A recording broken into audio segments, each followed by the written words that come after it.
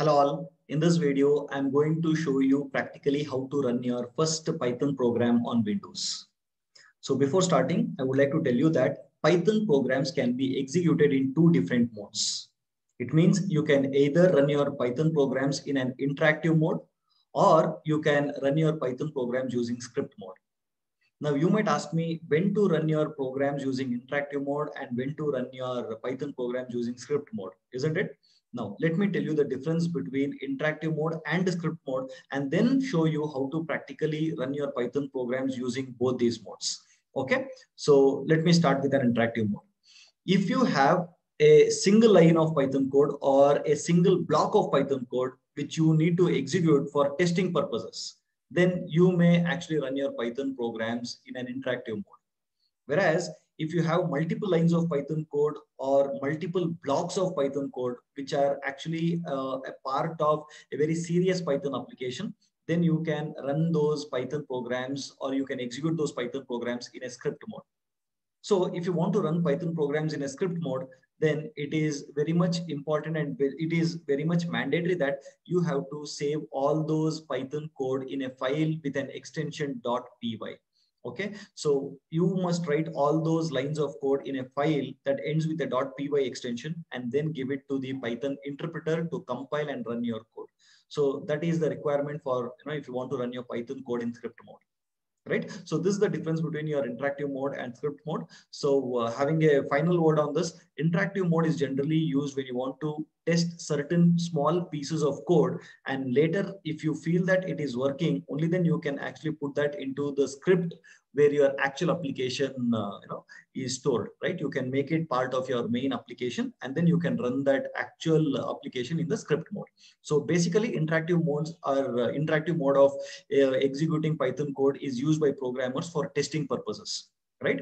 Now having said that now where do we execute python code isn't it so Python code can be executed either using a tool called as idle or you can execute your Python programs on Windows command prompt, right? So in this video, I'm going to show you both like how to run your Python programs on idle as well as how to run your Python programs using your Windows command prompt, right? Now you might be wondering what do you mean by idle, right? IDLE. It stands for Integrated Development and Learning Environment. And this is a software that comes along with your Python installation. It means if you have installed Python on your computer, then it is, um, you know, it is, uh, I'm sure that you would actually have idle on your uh, uh, computer. Now, I would show you how to uh, invoke your idle and how to actually start executing your Python programs on idle as well as command prompt. Okay, so let's get started. So first I would show you how to run your Python programs uh, using interactive mode as well as script mode on idle. And then I would show you how to execute your Python programs using interactive mode as well as script mode using Windows command prompt, right? So now first let me get into idle. If you want to invoke your idle, you will have to just come to your uh, start option over here, Windows start option, as you can see on the left-hand side corner, bottom corner. You must click on that start button okay start option. So you will get all the list of installed applications that are there on your computer. Okay now search for python software which comes under the letter p. Okay so where you can see over here yes i have got the letter p over here. All i so this has all the applications which starts with the letter p. I can see i have installed python 3.9 I click on that and I get this, you know, almost four uh, options under this Python 3.9 folder. So I will click on the first option which says idle Python 3.9 64-bit. When I click that, I get an uh, you know editor which will which is called as an idle editor. It is basically a shell which gives me a command line where I can actually give uh, you know the Python instructions for execution purposes in an interactive mode right? So let's first I will show you how to run the Python commands or Python code in an interactive mode. Later, I will show you how to actually run your Python code in script mode, both using idle, right? So as you can see, I'm working on the idle shell. It says, okay, it says idle shell 3.9.1. So I'm on idle shell and executing the code in an interactive mode, right? Now, this is the command prompt which where you can see three greater than symbol it is a command uh, line okay where i can actually issue commands to the interpreter so my first command is storing a uh, you know 10 into a i'll say a is equal to 10 then i would say b is equal to 10 then i would say c is equal to 10 Okay, and then I want to add all these. I would say sum is equal to A plus B plus C. Okay, and if I want to make sure that the sum contains the addition of A, B, and C, I would just say, okay, sum. I would just say sum and say an enter key, and I get the output as 30 as you can notice, okay, this is an interactive mode of running Python code where I've written one, two, three, four, four lines of code, okay, and I finally tried to print the value of sum and I've got this output, right? These are all command, you know, uh, commands or these are instructions written in Python, right? So this is basically an uh, interactive mode of executing Python programs. This is one way, right? So the second way is that I will have to write these code, whatever I've written, whatever statements I wrote just now in an interactive mode, I will have to pick up all these statements and put together into a file that has an extension with .py. Okay, so how do I do that using idle software is like this, right? So on the top, you can see the file option over here, right? I would click on that and it gives me an option called as new file. I'll click on new file. Okay, and whatever statements I wrote in Python to execute, you know, Python code in an interactive mode, the same set of statements, I would actually group it into a file by saying A is equal to 10, B is equal to 10, C is equal to 10, and I would say sum is equal to A plus B plus C, right? And then I would use a print function of Python to print those, right? But as I told, I've, this is an editor, okay, where I've written the code. But the thing is that if I want to execute in script mode, I will have to save this in a file with a .py extension. So how do I save it? Again, click on the file option right? So you will have an option to save it as, okay? So I'll call it as save as. I'll click on that. And now it gives me an option says, saying that it, it is asking me where should I actually save this file. I click on desktop because I want my Python file to be saved on desktop. Okay. And I want to give it a name. So I will just call it as my first Python program or something like that. Okay. And then I don't want to give my .py for now because idle has already identified my file as Python file. And therefore .py extension would be automatically inserted when I actually save it. Right. So I'm going to save this now. And as you can see that, you know, the my first Python program.py has been saved as a Python file as .py extension under users Subhash OneDrive desktop. It means my Python program is there on the desktop. So to just to cross verify, let me go there and check. I'll go to my desktop and yes, as you can see on my desktop, I have my first Python program saved over here, right? So now I'm going to execute this file in script mode. Okay, so to execute this in script mode, okay, I come back to my idle, okay, where I had actually written this uh, program. And there is an again an option called as run. I click on run and then say run module. When I say run module, okay, as you can see, okay, the my program, which was under users Subhash KU OneDrive desktop, okay, called as my first Python program.py got executed, okay, and then I got my output as 30.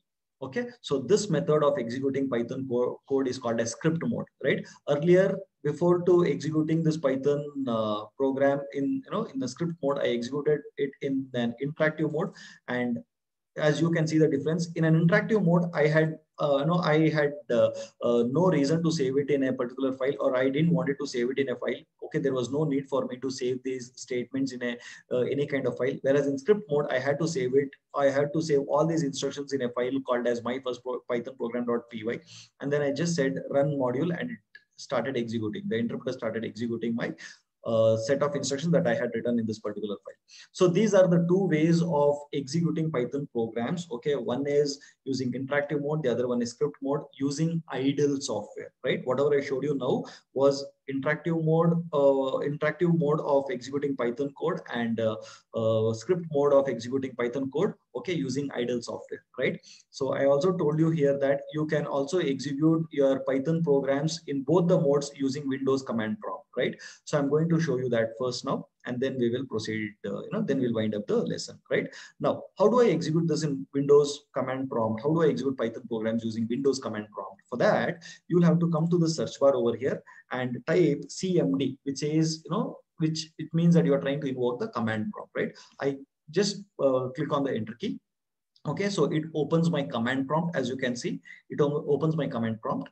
So now if suppose I want to execute my Python program, I want to execute Python code in an interactive mode, then you will have to invoke a tool, okay, invoke the Python interpreter in an interactive mode. For that, I use you know, the tool called as py with an option of minus three, which indicates that I'm running a Python 3 version. Okay, so I just say enter key and you can see that I got a command line. Okay, so the interpreter has been invoked and I've got a command line where I can start giving Python commands. Okay, so the same thing I would do A is equal to 10, B is equal to 10, and you know C is equal to 10, and then say sum is equal to A plus A plus B plus C, and then I try to print the value of sum, it gives me 30 right? So this is an interactive mode of executing Python programs using Windows command prompt, right? This is one method, right?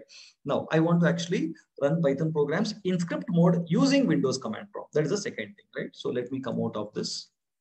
Let me comment off this.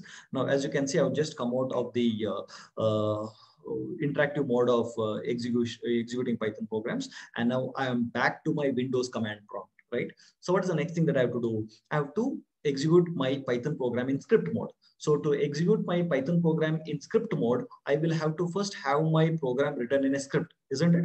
So we remember that earlier while executing my Python program in uh, idle using idle software, we had saved the file on our desktop, isn't it? So let me go and check if it is there.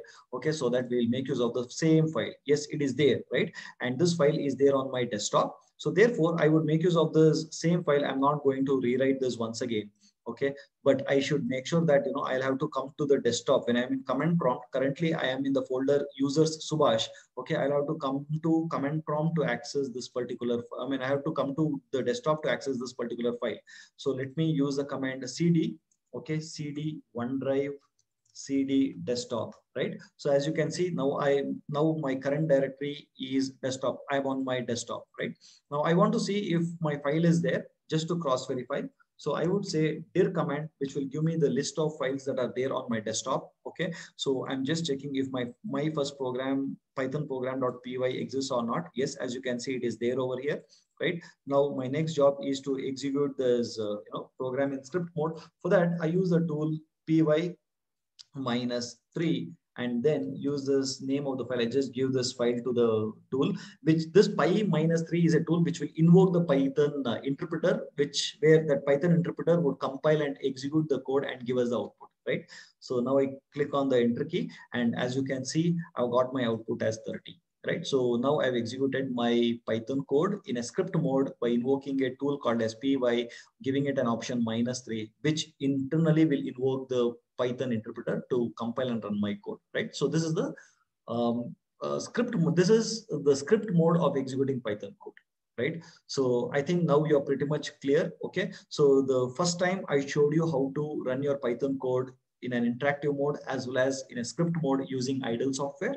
Then I also showed you how to run your Python code, uh, Python, uh, how to execute your Python code in an interactive mode as well as in script mode using Windows command prompt right? So uh, you can use either of these ways to actually uh, run your Python code.